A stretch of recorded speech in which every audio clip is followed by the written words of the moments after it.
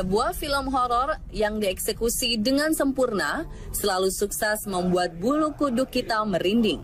Memiliki suasana mencekam dan menakutkan, film horor tetap punya daya tarik tersendiri di mata masyarakat Indonesia. Bahkan beberapa di antaranya tersimpan baik dalam memori kita hingga kini. Lalu jika dibandingkan, kira-kira menurut masyarakat lebih seram film horor zaman dahulu atau zaman sekarang? Menurut saya sih lebih sereman film yang horor yang dulu. Kalau menurut saya sih lebih serem yang sekarang ya. Menurut saya sih lebih serem zaman dulu. Kalau lebih seremnya sih yang sekarang sih sekarang. Menurut gue lebih sereman film horor sekarang sih, karena lebih ngagetin dan efeknya lebih dapat banget. Kalau ditanya lebih sereman film horor zaman sekarang atau zaman dulu, gue bakal jawab lebih serem zaman sekarang. Film horor yang paling menakutkan itu film horor zaman dulu. Aku lebih suka versi zaman sekarang. Di era modern, banyak film horor Indonesia dengan kualitas baik. Namun dalam beberapa hal, belum bisa menandingi film horor lawas dengan sejumlah keunggulannya. Lebih lanjut, bagaimana perkembangan genre film horor di Indonesia? Berikut film horor Indonesia dulu dan sekarang versi on the spot.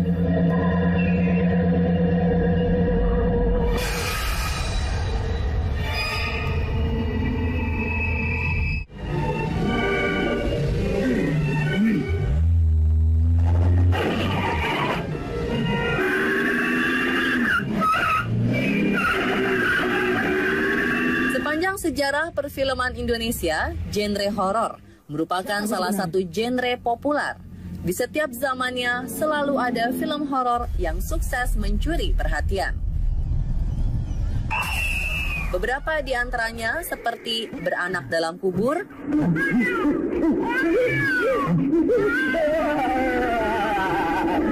Pengabdi Setan,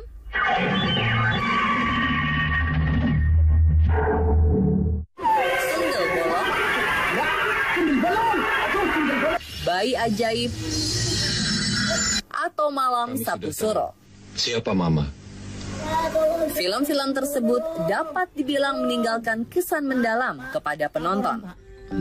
Kalau kita lihat dulu film horor kita itu punya eh, cerita yang lebih eh, apa ya lebih bagus eh, sering kali ya karena memang perhatian utamanya pada cerita dan dia sangat dekat dengan masyarakat karena dia mengambil bahan-bahannya itu dari apa yang berkembang di masyarakat.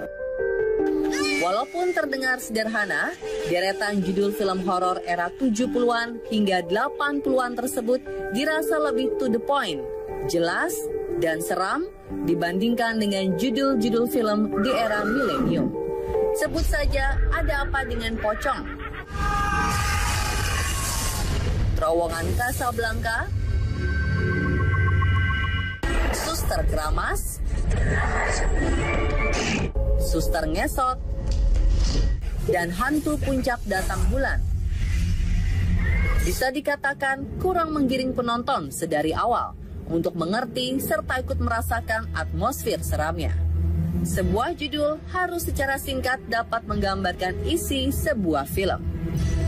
Munculnya film-film horor dengan mengedepankan unsur seksualitas juga ikut berpengaruh terhadap kualitas film horor termasuk judul. Dari fenomena yang ada, judul-judul yang mengandung unsur seksualitas justru menimbulkan efek buruk terhadap citra film horor Indonesia.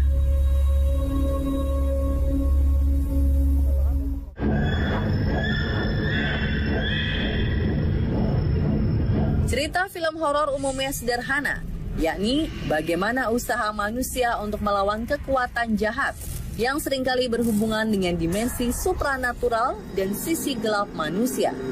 Kemudian jika melihat dari perkembangannya, ternyata film horor yang diproduksi dulu dan sekarang terdapat perbedaan cukup signifikan. Jadi kalau film horor Indonesia zaman dulu itu dibandingkan sekarang eh, bedanya yang satu kelihatan adalah teknologi pembuatannya sehingga production value-nya lebih bagus sekarang, tapi ceritanya belum tentu. Jadi eh, kelihatan bahwa filmmaker sekarang itu udah eh, lebih ahli dalam membuat gambar dan ketegangan gitu ya. Lalu yang kedua settingnya, dulu lebih banyak di pedesaan, kuntilanak nangkring di pohon gitu kan, hutan-hutan gelap gitu, atau pantai yang menyeramkan gitu ya. Lalu ada tokoh-tokoh mitologis gitu ya. Sementara sekarang lebih banyak settingnya kota dan horor di eh, dalam eh, suasana urban. Jadi urban horror, urban urban eh, stories gitu, urban legend juga. Nah, yang ketiga adalah memang dulu diwajibkan ada kehadiran sosok eh, tokoh agama untuk mengalahkan setan. Dahulu, film-film horor menyajikan sebuah cerita sederhana, dekat dengan kehidupan sehari-hari, dan terdapat pesan moral yang mengarah pada ketakwaan. Berdasar kode etik itulah, para tokoh agama muncul sebagai tokoh bijaksana, di mana mampu mengalahkan tokoh antagonis yang perilakunya menyimpang dari ajaran agama ataupun mengalahkan makhluk tak kasat mata. Tujuan utama film horor yaitu memberikan rasa takut yang mendalam bagi penonton. Film horor dianggap berhasil jika mampu memberikan ketakutan, teror, mimpi buruk, serta kepanikan luar biasa. Adapun kunci sukses dalam menciptakan sebuah film yang menegangkan adalah dapat menciptakan bermacam-macam efek mengejutkan serta tata rias wajah yang menunjang. Jika dilihat dari sisi efek suara, visual ataupun properti, rasanya film horor zaman dahulu sangatlah tertinggal dibandingkan saat ini. Contohnya seperti efek suara yang hanya berasal dari elemen natural, seperti hujan ataupun kilatan halilintar.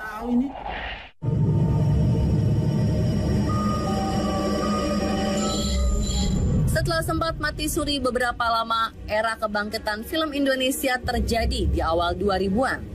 Satu dari tiga film pencetusnya adalah film horor, yaitu Jelangkung pada 2001. Setelahnya, hingga kini, film horor menjadi genre yang secara konsisten hadir di layar lebar, seperti Bangsal 13 pada 2004, Mirror pada 2005, Lentera Merah pada 2006, hingga Rumah Dara pada 2010. Film-film tersebut lahir di masa bangkitnya perfilman Indonesia sebelum pasar penuh dengan horor komedi maupun horor yang dibalut sensualitas tinggi yang membombardir. Penurunan kualitas film horor dapat dilihat dari banyaknya film horor yang dibumbui dengan sentuhan sensualitas para wanita cantik dan seksi. Tak tanggung-tanggung, para pembuat film juga berani mendatangkan artis vulgar dari luar negeri untuk meramaikan jagat perfilman horor Indonesia. Mirisnya, cerita yang disampaikan dalam film pun tak jarang hanya menjadi sebuah pelengkap.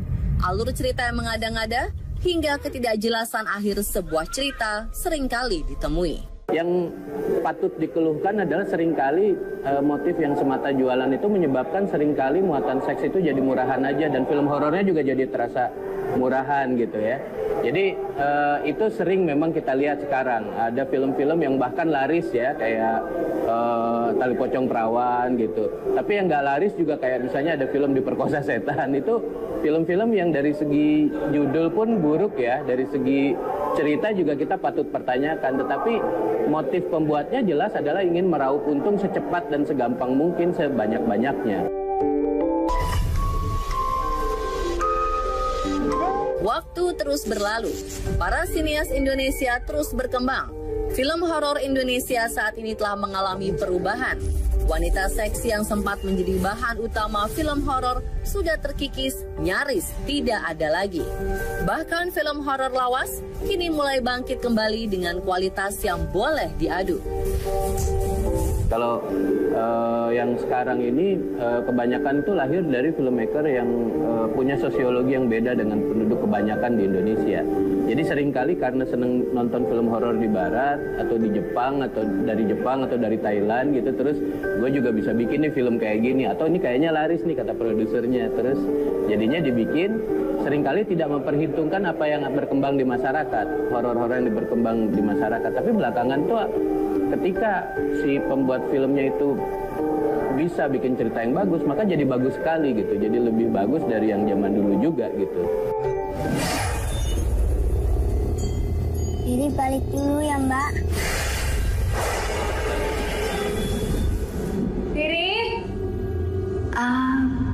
Besar harapan akan kemajuan perfilman di Indonesia, khususnya genre horor, setelah munculnya film Danur dan Pengabdi Setan yang menyuguhkan cerita seram berkualitas. Terlebih, film Pengabdi Setan yang diproduksi pada 2017 lalu telah diputar di 26 negara. Wow, membanggakan sekali bukan pemirsa?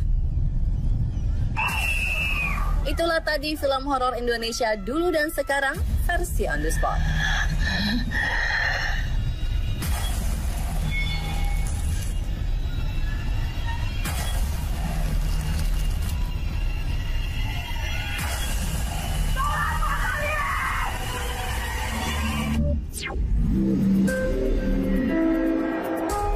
Benarkah bau kentang rebus merupakan pertanda hadirnya sosok tak kasat mata di sekitar kita? Lalu bagaimana dengan bau wangi bunga yang biasanya diartikan sebagai pertanda hadirnya makhluk astral perempuan di dekat kita? Temukan jawabannya hanya di On The Spot sesaat lagi.